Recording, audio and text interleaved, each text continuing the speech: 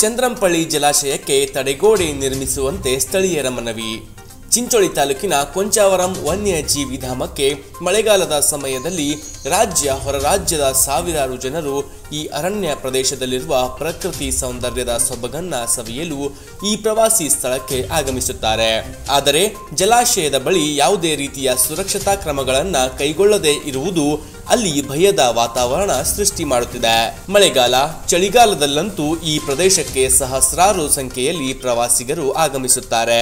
ಬಂದ ಪ್ರವಾಸಿಗರಿಗೆ ಮತ್ತು ಅವರ ಸುರಕ್ಷತೆಯ ಬಗ್ಗೆ ಕಾಳಜಿ ವಹಿಸಿ ಇಲ್ಲಿ ಪ್ರವಾಸಿಗರಿಗೆ ಕೆಡುಕು ಉಂಟು ಮಾಡುವ ಸ್ಥಳಗಳಲ್ಲಿ ತಡೆಗೋಡೆ ಮತ್ತು ಬೇಲಿಗಳನ್ನು ಹಾಕುವುದು ಅನಿವಾರ್ಯವೆಂಬುದು ಅಲ್ಲಿನ ಸ್ಥಳೀಯರ ಮತ್ತು ಪ್ರವಾಸಿಗರ ಬೇಡಿಕೆಯಾಗಿದೆ.